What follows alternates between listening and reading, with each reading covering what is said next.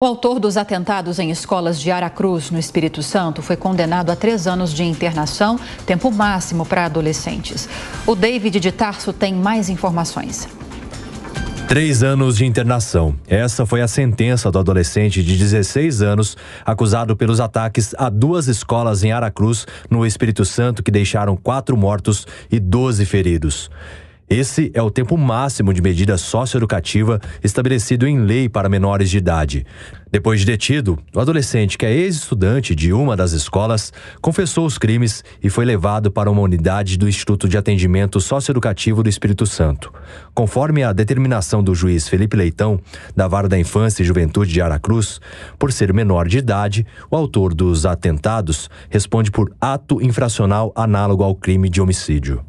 No período que estiver detido, o jovem deve passar periodicamente por exames psiquiátricos para atestar a possibilidade de retornar ao convívio social, de acordo com a defesa do adolescente. Os ataques aconteceram no último dia 25 de novembro na cidade de Aracruz.